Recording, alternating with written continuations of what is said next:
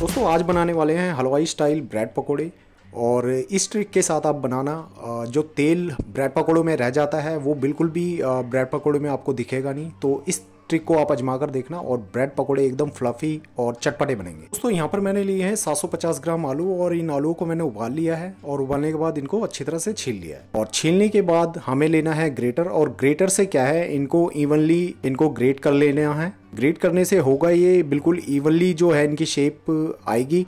और फोड़ने से क्या है, अगर आप स्मैश करते हैं तो उसमें गुठलियाँ सी रह जाती हैं तो आप ग्रेट करें।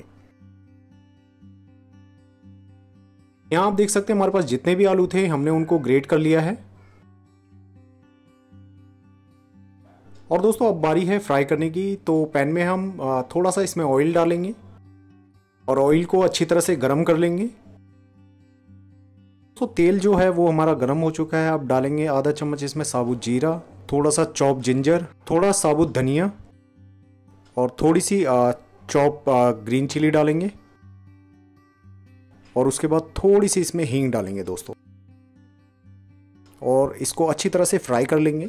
यहाँ पर जो फ्लेम है वो नॉर्मल ही रहनी चाहिए। फ्लेम जो है वो लो ही होनी चाहिए। क्योंकि अगर आप हाई हीट पर अगर इसको आप बनाते हैं तो मसाले के जो जलने के चांसेस हैं वो बहुत ज़्यादा होते हैं और आप हाई हीट पर इसको कंट्रोल नहीं कर पाओगे तो आप इसको लो फ्लेम पर ही बनाएँ। अच्छी तरह से फ्राई करने के बाद दोस्तों, अब इसमें हम डालेंगे थोड़ा सा धनिया पाउडर आधा चम्मच और उसके बाद आधा चम्मच कश्मीरी लाल मिर्च, थोड़ी नॉर्मल लाल मिर्च पाउडर थोड़ी सी हल्दी,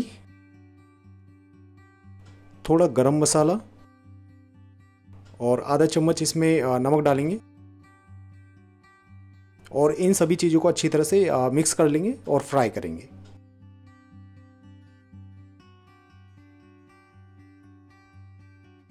और सभी चीज़ें अच्छी तरह से फ्राई हो चुकी हैं। अब जो हमारे पास ग्रेटेड आलू थे, वो आलू हम इसमें डाल देंगे और इन आलूओं को अच्छी तरह से मिक्स करेंगे फ्राई करते हुए।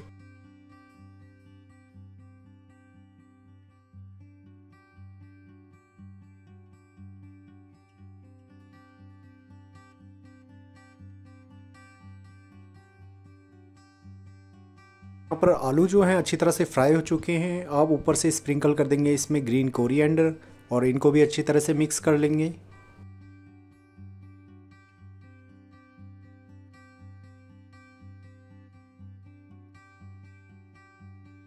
तो आलू वगैरह यहाँ अच्छी तरह से मिक्स हो चुके हैं और अब बारी आती है ब्रेड की।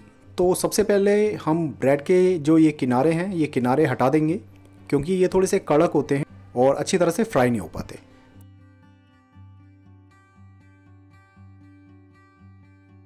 के किनारे हटाने के बाद दोस्तों इनको बिल्कुल स्टेबल कर लेंगे। ब्रेड के जो ये पीस हैं और इनके ऊपर जो हमने मसाला बनाकर तैयार करा था, वो मसाला अब हम ब्रेड पे ऊपर रख देंगे और इसको चम्मच की सहायता से ऊपर फैला देंगे। और उसके बाद ऊपर से इसको पैक कर देंगे, बिल्कुल। और अब चाकू की सहायता से इसको कट कर लेंगे।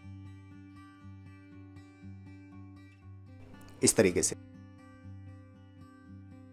अब ये हमारे पास दो पीस बनकर तैयार हैं। बट अब हम इसका क्या है, इसको चार पीस में डिवाइड करेंगे। तो एक पीस में से हम फिर दो पीस इसमें से तैयार कर लेंगे इस तरीके से। तो एक ब्रेड में से हम चार पीस बनाएँगे। तो हम बनाएँगे मिनी ब्रेड पकोड़ा। दोस्तों, हमारे पास जितनी भी ब्रेड थी, उनको हमने कट करके स्लाइस में हमने इकट्ठा करके प्लेट में रख दिया है। और अब बारी आती है बेसन के बैटर बनाने की। तो सबसे पहले यहाँ पर हम दो कटोरी बेसन लेंगे। और उसके बाद इसमें डालेंगे थोड़ी सी हल्दी, एक चम्मच नमक, थोड़ी सी अजवाइन और थोड़ा सा बेकिंग सोडा और थोड़ी सी लाल मिर्च पाउडर। इन सबको अच्छी तरह से मिक्स कर लेंगे ताकि सारी चीज़ें बेसन में अच्छी तरह से मिक्स हो जाए। और अब थोड़ा थोड़ा पानी करके इसको हम अच्छी तरह से मिक्स कर लेंगे बैटर को।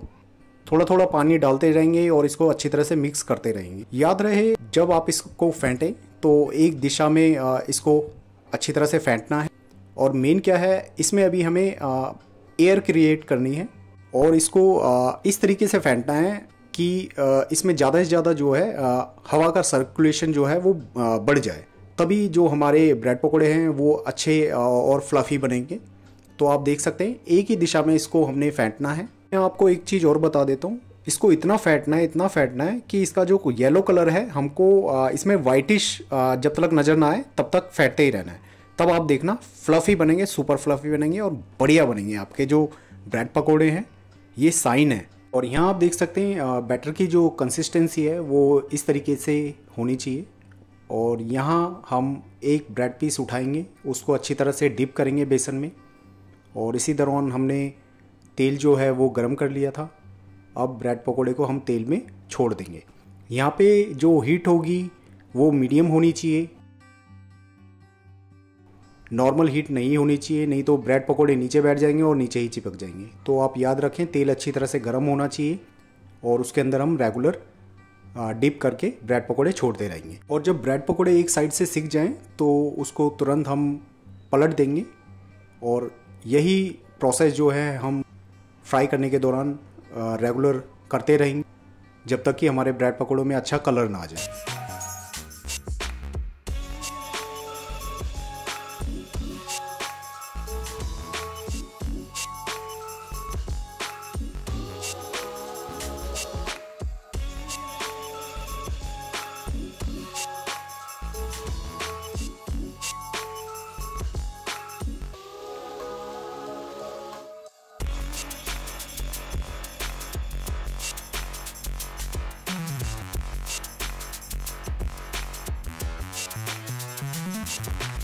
और यहाँ आप देख सकते हैं जो ब्रेड पकौड़ों का कलर था वो हल्का हल्का चेंज हो चुका है और हमारे जो ब्रेड पकौड़े हैं वो सीख तैयार हैं।